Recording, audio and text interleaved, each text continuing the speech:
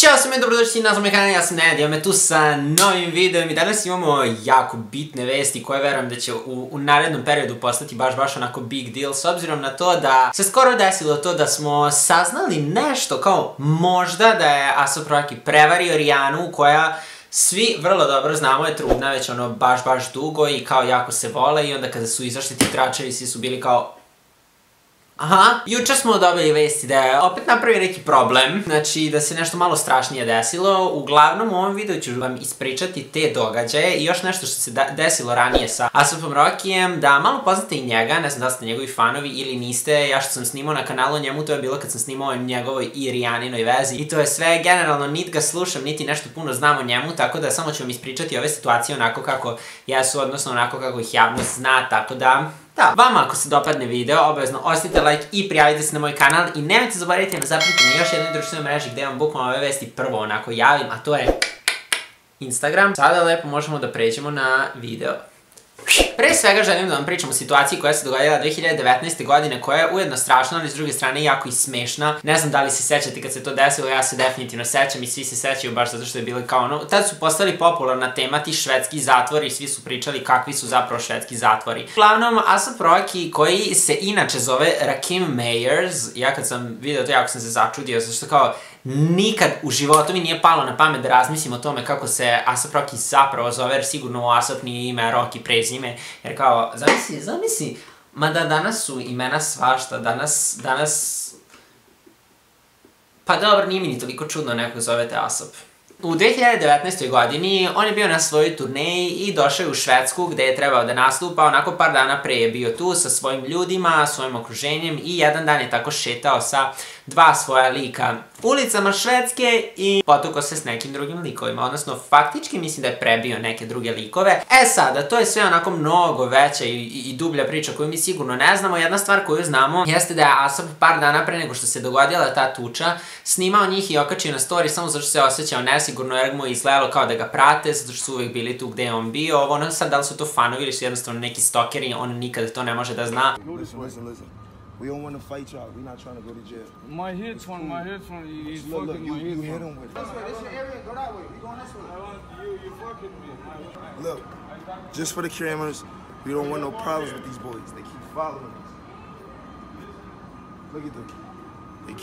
Taj skandal je zapravo postao mnogo, mnogo velika stvar u Švedskoj. Toliko velika da je on završio u zatvoru čim su ga uhvatili i morao je automatski da otkaže ostatak turneja, odnosno se snađe na neki drugi način. Zato što kada je završio u zatvoru, oni nisu njemu želeli ni da daju onako kao koliko može da plati pa da izađe kao bail, već su samo bili kao u fazonu, to je to, ti ostaješ u zatvoru sve do suđenja, nemaš nigde da ideš. I on je bio u zatvoru dobre dve, tri nedelje i izlazile su vesti kako je on u užasnom stanju tu u zatvoru i da je na katastrofalnim mestima, dok su oni predstavljali tu priču kao da je on u onim švedskim zatvorima kao koji su bukvalno, ali vi kad pogledate slike švedskih zatvora, to je kao da gledate sobe koje su čak bolje od domova studentskih ovde kod nas koji postoje u Srbiji. Znači, to ne da je super, ne da imaš sve što ti je potrebno, nego ono, uživaš lagano i bolite uvo. Ali Asap Ferg, to je jedan od njegovih prijatelja, isto drugi raper, ako njega možda znate, onda ga znate po pesmi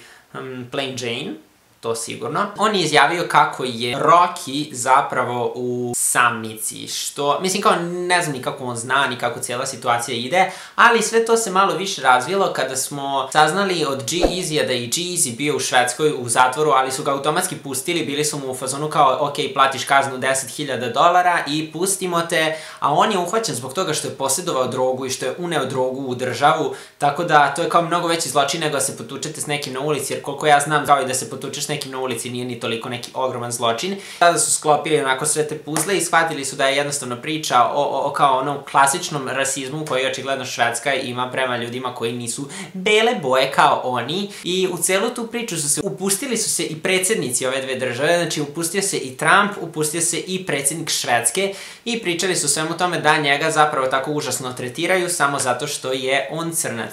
Znači, ono što je meni najfascinantnije od svega ovoga jeste što je i Trump bio uključen u celu ovu priču, jer kao ko bi očekivao od nas da će se Trump uključiti u tako nešto, kao prvo boli ga uvoza neku poznatu ličnost iz, mislim svejedno što iz Amerike, ono šta, zašto se on toliko trpa u to, jer kao to jednostavno nije nešto na šta smo navikli, vidimo političare se trpaju. Okačio je ovako, veoma sam razočaran u Prime Minister Stefan Lofven, kako god, već ide, zato što ne čini ono što treba da učini. Švedska je milion puta razočarala naš afričko-američki community. Odgledao sam sve snimke Asopa Rokija i njega su jednostavno pratili i napadali. Mislim kao smarali su ga, ugrožavali su ga. Takođe, posle toga je tweetovao. Sad sam pričao sa Kanye Westom o tome što je njegov prijatelj Asop Roki završio u zatvoru. Zvaću predsjednika Švedske da vidim kao šta mogu da uradim da pomognem Asopu. Mnogo ljudi bi volelo da se ovo brzo razreši. Uglavnom, ipak je ovo tweetovao pre one druge stvari. I nakon svega toga, prošlo je tu tipa dve, tri nedelje, došlo je suđenje gde je bio Asap Rocky, tu je predstavio on i taj video što je imao, ali u isto vreme su i ovi koje su napali predstavili neku drugu stranu svega toga što ranije nismo znali. Nismo znali, na primjer, da je Asap držao kod sebe jednu flašu kojom oni smatraju da je on njih napao, dok je on sve vreme negirao i govorio kako nije kriv, kako nije ništa radio i kako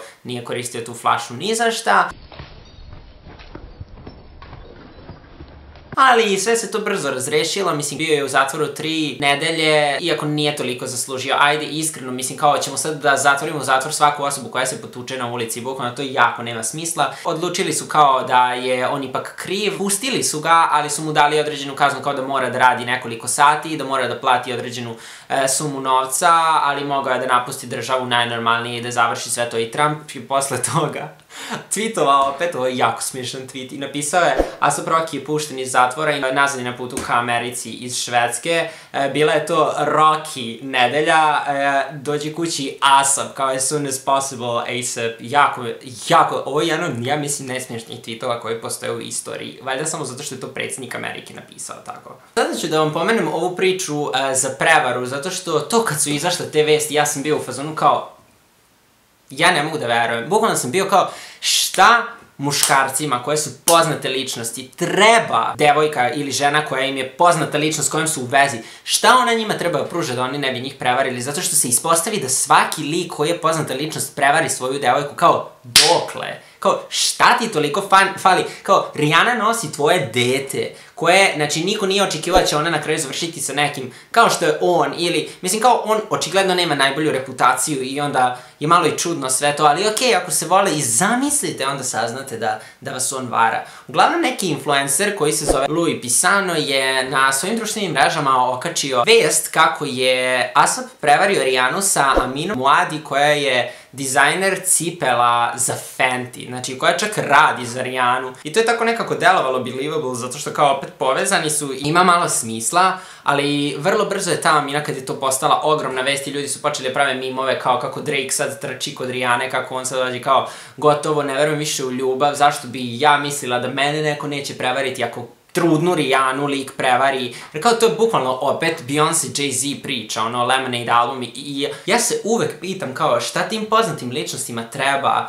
I, i, i šta njima toliko fali u tim vezama da oni samo idu okolo i varaju, jer kao, ok, ako nedelju dana možda niste zajedno jer si ti na turneji, jel ti toliko fali taj teksta moraš da prevariš svog partnera za to. Amina Muadi je odlučila na svoje društvene mreže da okači kako je to laž kako je to izmišljeno i kako to uopšte nije istinito. Kako ovaj lik očigledno ima nešto protiv nje, taj influencer koji je to okačio i onda je on nastavio na Twitter da, da piše i kao izvinja se i bio u fazonu jako mi je žao što sam doneo ovako glupu odluku da ovo objavim, to je samo jedna informacija koju sam ja dobio. I to je to, znači kao samo da mu je neko to javio i on je odmah poverovao i okačio to i napravio je ogroman haos, ali u isto vreme ona stranica što sam par puta pričao sa tra, Tračeve, Dumois, ne znam kako se izgovara, u tom momentu su počeli oni da dobijaju poruke od mnogih devojaka kojima se Asap i likovi iz njegove ekipe, dok je on na turneji ili sve to javljaju i koje onda provode vreme sa njima i druže se. Sad, da li se to dešavalo dok je on bio sa Rijanom u vezi, tačnije još uvek sada, ili je to bilo pre toga, ne znam, ali opet očigledno postoji tu nešto malo što je onako jako tužno i strašno. Ja se nadam da stvarno nije istina da je on sada trenutno nju prevario. Ovo očigledno nije jer je demantovano i Rijana i Asap su demantovali i otišli su zajedno na putovanje Barbados kao boli ih uvo ne žele da se njakaju sa ovim tračevima sad u ovom periodu, pogotovo što će Rijana, ja mislim, za manje od mesec dana da se porodi, za koju nedelju bi trebala da se porodi. Tako da ovaj stres im baš nije potreban i dobro je što su pobegli. Ali njih stres prati gde god da dođu. S obzirom na to da kada su sleteli nazad u Los Angeles iz Barbadosa, Asap je uhapšen na aerodromu. Znači, na licu mesta bio je sa Rijanom, odvukli su ga i uhapsili su ga. Zašto su ga uhapsili? Zato što je 6. novembra 2021. godine u 10 i 15, u isto vreme kada sam ja bio na rođendanu kod moje najbolje drugarice, iskakao i igrao, Tada se Asap Rocky posvađao sa nekim likovima na ulici i jednog je upucao tri ili četiri puta.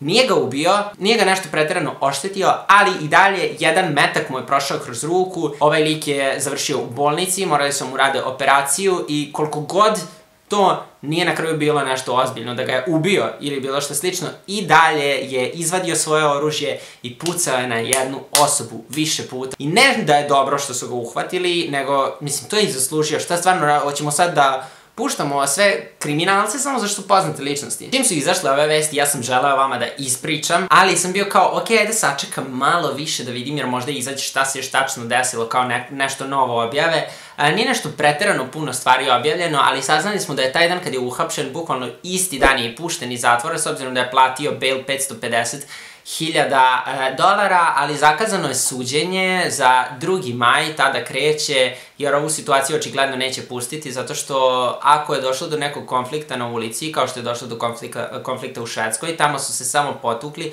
ovde se nisu samo potukli, on je bio sa svoja dva čoveka opet, izvadio je taj pištolj i pucao na jednu osobu, mislim da je to mnogo, mnogo ozbiljnija situacija. Ja u svemu ovome razmišljam kao samo, samo o toj privilegiji koje poznate ličnosti imaju, ali u isto vreme koliko ta privilegija može bude golo govno, jer eto, oni možda sad imaju ovu privilegiju, ali Rijana prolazi kroz tako nešto dok je trudna, što ja mislim da kao nijedna trudna žena ne treba da doživljava takav stres, pogotovo nešto tako kao nedeljama se ređaju skandali koji su vezani za njih i to je tako tužno.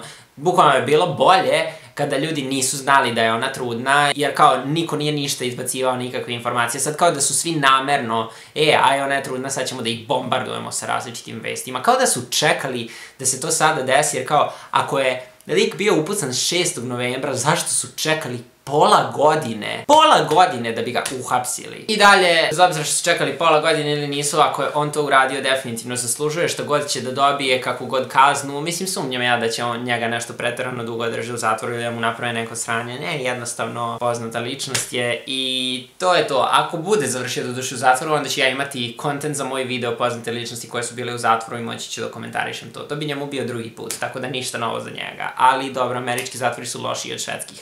To bi bilo to za ovaj video. Ja se nadam da se vama dopao i da vam je bilo zanimljivo, jer kao ne, ne znam da li puno vas uopšte zanima šta se dešava sa Asapom Rokijem. Rekao bi da više to Rijanini fanovi prate nego njegovi, zato što ono, ljudi koji slušaju taj tip muzike nisu toliko ni zainteresovani za živote poznatih ličnosti, nego samo slušaju muziku i to je sve to. Ako vam se dopa video, obvezno ostavite like i prijavite se na moj kanal. Ovdje imate najnovi video na ovom kanalu, imate playlistu sa ostalim celebrity videima gde komentarišem njihove veze, raskide, razvode, brakove, haose, drame, isto sam već pričao i Rijani Asapu, kao što sam rekao, nešto malo o serijama i filmovima, tako da hop tu i odgledajte, verujte mi, nikad nećete izaći te playliste, koliko je dobro. A mi se onda vrlo brzo vidimo u sledećem videu.